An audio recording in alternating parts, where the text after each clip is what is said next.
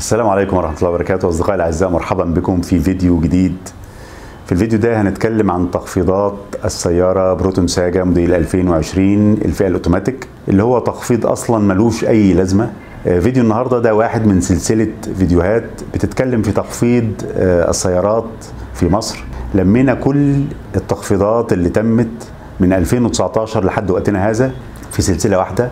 عشان قبل ما تاخد قرار الشراء تخش تشوف الشركة اللي هتشتري منها هل فعلا خفضت العربية وتعرف العربيات المنافسة آه، وهل العربية قوية في فئتها السعرية ولا في أفضل منها؟ وعشان تعرف هل الشركة فعلا عاملة تخفيض حقيقي ولا زي آه، بروتون ساجا كده تخفيض ملوش أي لازمة تخفيض وهمي.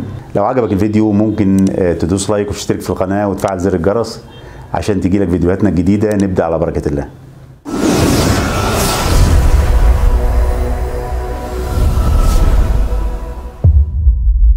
دخلت شركة بروتون آه، أيضا في موجة تخفيضات آه، بكشفها عن تخفيض بروتون ساجا الفئة الأوتوماتيك فقط. بتقدم آه، بروتون ساجا للسوق المصري فئتين واحدة manual واحدة والتانية أوتوماتيك. وشفنا الفترة اللي فاتت العديد من التخفيضات في أسعار السيارات من جميع الشركات وفي جميع الفئات السعرية بداية من رينو لوجان مرورا بالتخفيضات التركية وحتى تخفيضات لادا جرانتا وهيونداي. دلوقتي بنشوف تخفيضات ساجا الجديدة. بروتون ساجا عربية اقتصادية بتنافس عربيات زي رينو لوجان واريزو 5 ولادا جرانتا. التخفيض الأخير آه، على العربية هو على الفئة الأوتوماتيك بيحاول التخفيض إنه يدخلها في منافسة مع العربيات الثانية بروتون ساجا بتخفض سعر الفئة الثانية الأوتوماتيك فيها 3000 جنيه ودي نفس القيمة اللي تم تخفيض جرانتا بيها من أيام حيث تم تخفيض أسعار لادا جرانتا الفئة الأولى والثانيه بحوالي 3000 جنيه مصري. التخفيض على فئات السيارات ال manual والأوتوماتيك. دلوقتي بنشوف تخفيض ساجا على الفئة الأوتوماتيك فقط.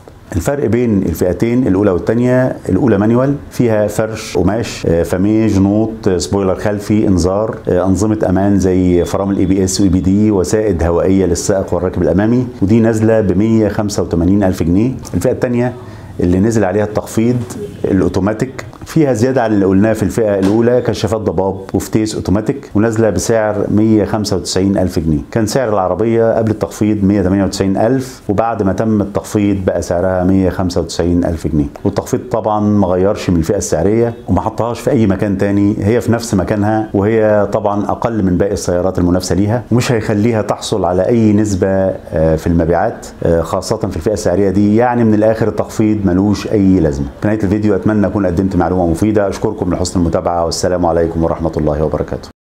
إذا أعجبك الفيديو لا تنسى المشاركة والاشتراك بالقناة ليصلك كل جديد.